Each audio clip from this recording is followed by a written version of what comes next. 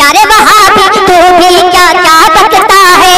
क्या रे वहाँ तू भी क्या क्या बकता है? बकता है बकता है। अरे पर कंजुल ईमान बरेली वाले का पर कंजुल ईमान बरेली वाले जी हेलो तो बरेलवी मुशरक जी क्या नाम है जनाब आपका? सर मेरा नाम मोहम्मद कैसर है बरेलवी मुशरक तो मोहम्मद? है बरेल कैसर या कौसर? कैसर कुरैशी। कैसर कुरैशी? हाँ जी। अच्छा अच्छा जनाब। आप मौलवी हैं या मुफ्ती? मैं बरेलवियों का बद मज़हब बरेलवियों का। जो असली चेहरा है ना वो दुनिया वाले दुनिया वालों के सामने लेके आने वाला हूँ। अच्छा अच्छा। चलिए बड़ी अच्छी हाँ। बात है। हाँ। तो- तो मुझे बस मुझे बता तू रिकॉर्डिंग कर रहा मेरी। हाँ हाँ हाँ। बरेलवी? हम्म। तो आप हैं कहाँ से जनाब? कहाँ के रहने वाले हैं आप?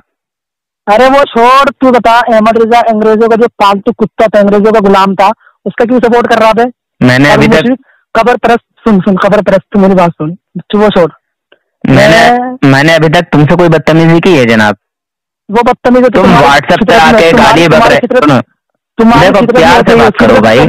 फितरत में होती तुम लोग प्यार से बात करो प्यार से।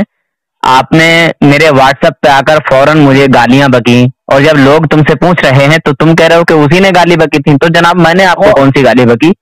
क्या आपको तो- कभी तो सुनो सुनो सुनो। तुम लोग तुम लोग की फितरत होती है बरेलवियों की फितरत होती है गाली बकना। मैंने तुम्हें कभी गाली बकी ये बदलो। क्योंकि तुम्हारी फिरका फिरका है है तुम लोग बस दलील नहीं तुम लोग बस गाली बकती बस।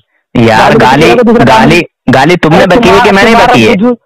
तुम्हारी तुम्हारा जो वजूद है वो गाली से ही है। अच्छा जनाब आपने अपने आपको हाफिज बताया था शायद। मौलवी भी पढ़ते हैं क्या? हाँ मौलवियत करवानी बरेलियों का पर्दाफाश करने के लिए और क्या। अच्छा अच्छा चलिए तो कौन सी जमात है आपकी? तीसरी चौथी पांचवी छठी या पहली? मेरा एक सवाल है। अरे यार सवाल छोड़ो जो मैं पूछ रहा हूँ रहने दो। रहने रहने मैं बरेलवी मुश्किल से तमीज से बात नहीं कर सकता क्योंकि बरेलवी मुश्किल से मेरे लिए जायज़ नहीं कि मैं तेरे से तमीज से बात करूँ। अच्छा। मुसलमान के नाम पर कलंक तुम लोगों ने मुसलमानों की बेइज्जती करा रखी है। अच्छा। मुसलमानों ऐसी करा रहे हैं कबर पर हलवा खोर कौवे का गोश्त खाने वाला बरेलवी मुझे अरे कौवे का गोश्त खा खा के तुम लोगों का दिमाग सड़ गया। और तुम लोगों के दिमाग में जिस कौवा आते रहता है काला कौवा।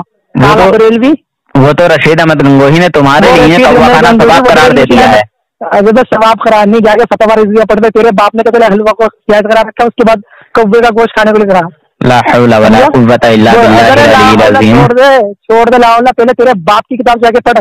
कि तेरा बाप है बदतमीजी नहीं यार मैं मैं कितने मैं कितने प्यार से बात कर रहा हूँ। बरेलवी मुश्किल सुन। अबे मैं मैं तो कहा बरेलवी मुश्किल से बात नहीं करता मैं। जायज़ नहीं कि तमीज से बात करूँ बरेलवी मुश्किल कबर परस्त मुसलमानों के नाम पे करना चाहिए कल अगर मेरे सामने आके तेरा मुँह तोड़ दूँगा भोज पे तेरे खिलाफ कंप्लेंट करने वाला हूँ। पता चल जाएगा तुझे। तो करो यार कहाँ के थाने में करोगे? कौन से थाने में पता चल जाएगा तुझे? जिला सहारनपुर के अंदर तेरी कंप्लेंट हो चुकी है अच्छा हो चुकी है? तो में जलजला पैदा हो गया। वाह। मैं मैं तो चे- मैं मैं तो। चैलेंज कर रहा हूँ मैं मैं पूरी बरेलवियत को पूरी को चैलेंज कर रहा हूँ। तो सहारनपुर तो सहारनपुर कहाँ से हो आप? मैं पूरी बरेलवियत को चैलेंज अरे पूरे बरेलवित को बाद में चैलेंज कर। बाम बामन तू- हरी बामन हरी बामन हरी मेरा गाँव है। बामन बामन हरी मेरा बामन हरी अच्छा अच्छा। हाँ बामन तो हरी पूरी बरेलवियत को चैलेंज कर रहा पूरी बरेलवियत को। अगर किसी बरेलवी ने ऐसा बच्चा जना है तो आके मुनाजरा कर ले कहीं तो बुला लो आ जाऊँगा मैं। बोल किस पूल पूल भी अभी मौलवियत भी नहीं करी है मैंने पूरी मौलवियत भी नहीं करी है मैंने।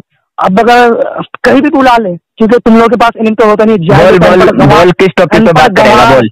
अनपढ़ गंवार- हाँ? टॉपिक चुन। चल तू बता तुम लोगों जो मैं इतनी टॉपिक चुन टॉपिक किस मौजूद पर बात करेगा? मैं हमेशा मुशरिक मुशरिक कहता हूँ बरेलवी मुशरिक है नहीं मुशरिक। अबे गैर खुदा को जाके सज्जा करते हो तेरा रिजा बाप जो तेरा बाप है गैर खुदा को सज्जा करने के लिए कहा? ये तरीका- मुरादाबादी ये कोई तरीका है बात करने का?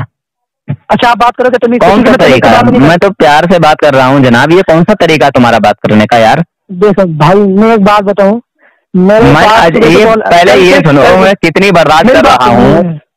मेरी यार गाली पे गाली गाली पे गाली मेरी तुम्हारी कभी बात नहीं हुई। तुमने डायरेक्ट मेरे फ़ोन पर आके मेरे व्हाट्सएप पे आके इतनी गाली बकी इतनी गाली बकी यार शर्म करो तुम मौलवी हो तुम मौलवियत पढ़ रहे हो हाफिज कुरान हो यार शर्म करो कुछ यार। मैं मैं देख मेरी उम्र है ये गाली बकना क्योंकि मेरी उम्र जो है ना अच्छा मेरी उम्र ही है। तो उम्र के हिसाब से गाली बकी जाती है। और उम्र के हिसाब से नहीं क्योंकि भाई उम्र के हिसाब से गाली बकी जाती है। कहाँ लिखा है कि उम्र के हिसाब से गाली बकी जाती है? चलो सबूत पेश करो कुरान हदीस से तूने ये जो वीडियो अपलोड करी है ना कुरान हदीस से सबूत पेश करो कि उम्र के हिसाब से गाली बकी जाती है। उम्र के हिसाब से यार मेरा मोबाइल है शायद हैं? क्या? हाँ हाँ। क्या चीज़?